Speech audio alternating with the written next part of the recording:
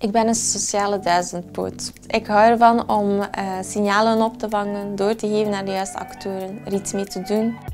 Ik ben eigenlijk in contact gekomen uh, met de wijk Schelde-Oort um, door ten eerste een, een, werkveldbezoek die georganiseerd werd vanuit het Hoog-Gent. En dan hebben we gekeken naar de cijfers van de schoolverlaters, de hoge contrast tussen de senioren, de kinderen, um, sterke signalen. Um, en uiteindelijk was ik ook vrijwilliger in een andere organisatie en toen dacht ik samen met een vriendin van oké, okay, wij moeten hier in het Scheldeoord ook iets oprichten.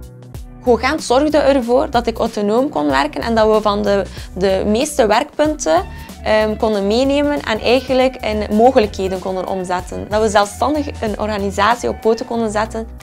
Een vriendin en ik zijn begonnen met uh, huisdagbegeleiding te geven. We deden het al jaren, maar uiteindelijk hebben we het ook in Schelde-Oort zelfstandig uh, opgericht.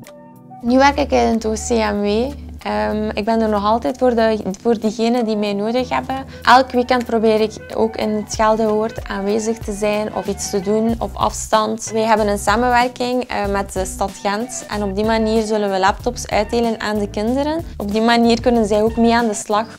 Gent heeft opnieuw ook gezorgd dat ik een goede inzicht kon verwerven, maar ook dat ik sterker in mijn schoenen kon uh, staan. Dat ik mezelf kon zijn. En dat wil ik hier in Scheldeoord uh, zeker ook uh, laten voelen. Dat kinderen hunzelf mogen zijn. Dat is heel erg belangrijk. Mijn werk zal er niet op zitten. Huisdagbegeleiding zal altijd blijven ontstaan. En het vrijwilligergevoel heb ik ook altijd in mij. Dat maakt mij onstopbaar. En dat maakt van mij een echte Hooggentenaar. Geef de wereld het beste van jezelf en studeer bij ons.